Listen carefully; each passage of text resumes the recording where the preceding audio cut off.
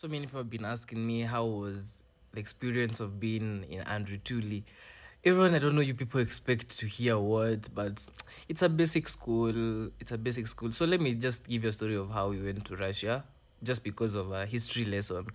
So you were having history. You were learning about um, you were learning about what is it called, World War One and World War Two.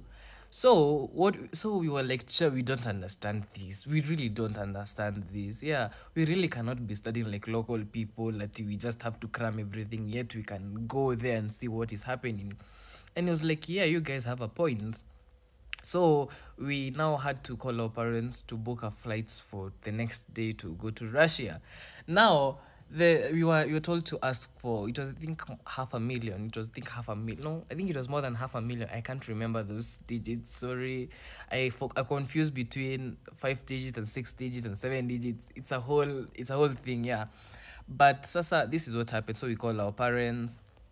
We all wanted to book first class, but sadly there are those very poor people, peasants who like decided to go with business class. I think most of them are their parents are MCAs, am MPs, or even governors. I was shocked how you go in business class and this first class. But you know, we still love them. We really support them as much as we can. Yeah, I give them my muffins sometimes.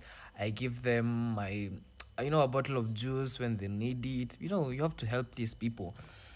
Okay, so after that, so we called, we booked flights, and the next day we were woken up by our butlers. Yeah, so the butlers they come with like a small cabell they ring it gently to wake you up and then they come and pat you pole pole. They're like hi good morning noel. Good morning. So that is how you used to be woken up. And no it's amazing it's amazing. That was the best part of it. And after that we just wake up with our pajamas. We go have our buffet breakfast. So that there was all types of food that you can think about.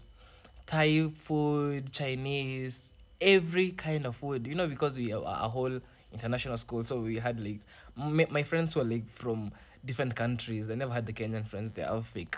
So after that, we had our, our meals, and then the butlers were making sure that our showers were hot enough for us, am at the best temperature for us, or else we can soothe them, you know. So we went, took our showers, they're just perfect temperature and they're, they're outside waiting with towels and then ready our our clothes were well ironed and ready so because our school is quite far from Jomo Kenyatta, we had to take a chopper to Jomo Kenyatta. We took the choppers easily, and then we landed in Jomo Kenyatta where we were welcomed with traditional dancers. You know, we are Ke- people forget that we are Kenyans. We are me in Kenya. Yeah, I'm Kenyan.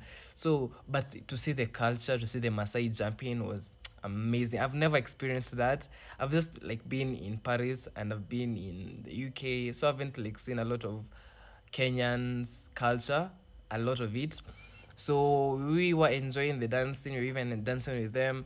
And then we had to take the VIP entry. We could not go through international departure. It was just, it was scary to see the amount of people that were there waiting online in the line. So we, there we met someone called Ruto. Ruto, yeah. I, I, I heard he's something he's someone in the government.